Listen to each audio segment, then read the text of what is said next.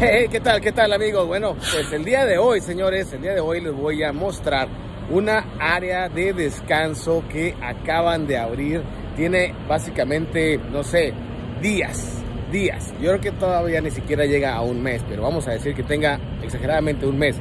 Un área de descanso en Texas, en el área de Van Horn aproximadamente. Aquí este, eh, está sobre el interestatal número 10, pasando el checkpoint de la carretera que va, digamos, de El Paso a San Antonio. Y está súper, súper grandísima. Y bueno, voy a mostrárselas en este momento. Primeramente, bueno, pues hay bastante, bastante espacio para los camiones. No sé cuántos camiones quepan aproximadamente estacionados en las líneas que están pues ya previamente marcadas o designadas para camiones.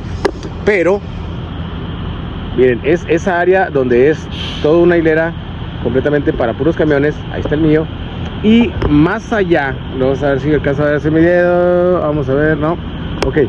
Más allá está otra línea, o sea que son básicamente dos filas o dos líneas, como ustedes quieran llamarle, para estacionar los camiones.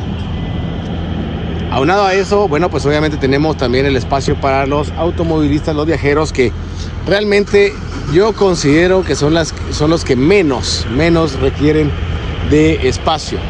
También tiene una pequeña área para los más pequeñillos que vengan ahí medio estresados. Bueno, pues pueden ahí este, divertirse un rato en, este, el área así de área infantil, se podría decir, para que dejen a los papás que sigan manejando y que se cansen ahí un rato y cuando se suban al carro se vuelvan otra vez a dormir. Ahora vamos al interior de este fenomenal edificio que la verdad eh, yo lo veo mucho, mucho, muy bien. Por lo pronto, desde la parte de acá afuera estamos viendo que ahí tienen baños. Y yo casi estoy seguro que tienen otra área de baños en la parte adentro del edificio. Y todavía si fuera poco todo esto, bueno, pues tienen sus áreas de picnic, ¿sí?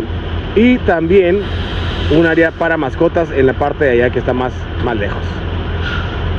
Eso es pues para que, bueno, las mascotas también se puedan desestresar un poquito. Lo que sí es muy recomendable, señores, que cuando su mascota haga su gracia, pues límpienla porque miren nomás se ve bastante feo ese regalito ahí tirado aquí en las piedras. Entonces bueno, vamos para adentro para mostrarles el edificio. Y bueno, pues ahora sí llegamos a lo más interesante y lo que yo espero sea una gran experiencia.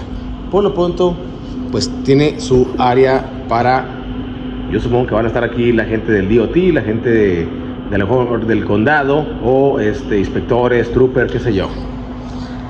Tiene también, pues como en todos los áreas de descanso, un área de maquinitas para comprar refrescos, snacks o lo que se, a ustedes se les pueda ocurrir. Creo yo que también está esta área de descanso va a contar con Wi-Fi. Ahí tenemos más baño y este bebedero. También tenemos el baño familiar para cuando requieren auxiliar a una familiar o cuando requieren cambiar a los bebés. Y por aquí nos vamos y encontramos pues como siempre un poquito de información, de historia, todo lo que refiere con esta área. Wow, no sabía que había unas cavernas aquí cercas. Limestone Caverns. Wow. Habrá que ir a, visitar esas cavernas. Tenemos aquí todavía un área de descanso en donde posiblemente en un futuro coloquen algunas tomas de corriente y USB. Quiero yo pensar.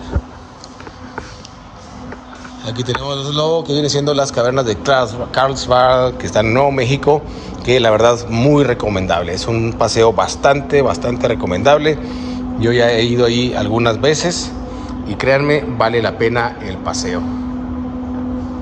Aquí tenemos una muestra de cómo está la parte interna de esas cavernas y también aquí tenemos una parte de lo que viene siendo una ruta, la cual, bueno, es llamada Overland Road, que va desde la ciudad de San Francisco, California, baja hacia Los Ángeles, California, viene por Tucson, técnicamente es allá arriba pues estamos hablando el 5, toda esta parte es el 5, esta parte es el 10 hasta Tucson El Paso, continuamos con, la, con el Interestatal 10, nos vamos a Abilene, que ya aquí ya cambiamos al Interestatal 20, hasta llegar a, a, bueno, todavía pasamos por la ciudad de Memphis, que ahí ya estaríamos hablando de esta parte, el Interestatal 40, y subimos hasta San Luis, donde terminamos con el 44.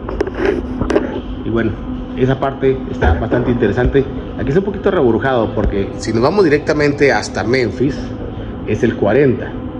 Pero si nos vamos hasta allá, hasta, hasta San Luis, sería el 44. Entonces, bueno, aquí vamos a decir que aquí se haga una Y más o menos en esta parte de aquí de la ruta.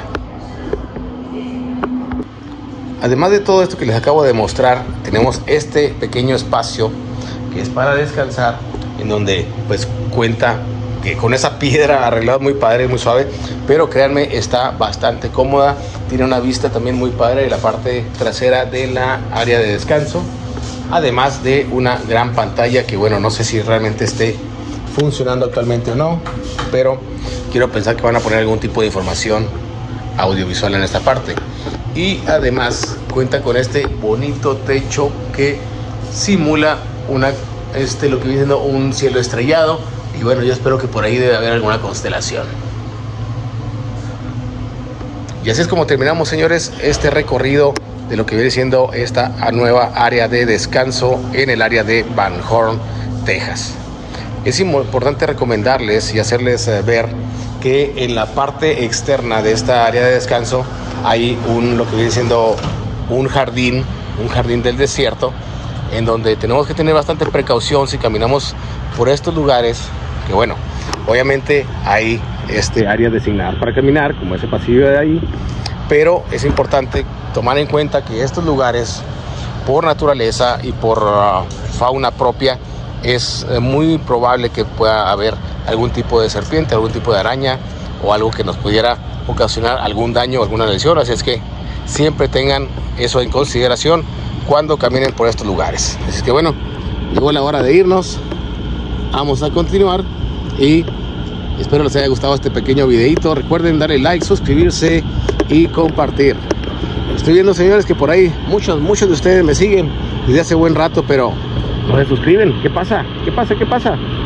Suscríbanse, vienen premios, vienen regalos al llegar a los 6000 suscriptores. Voy a ver qué, qué puedo regalar. No sé, mándenme ideas, comenten.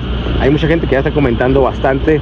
Así es que bueno, háganme saber una buena idea para premiar a mis 6000 suscriptores. Así que bueno, nos vemos en la próxima.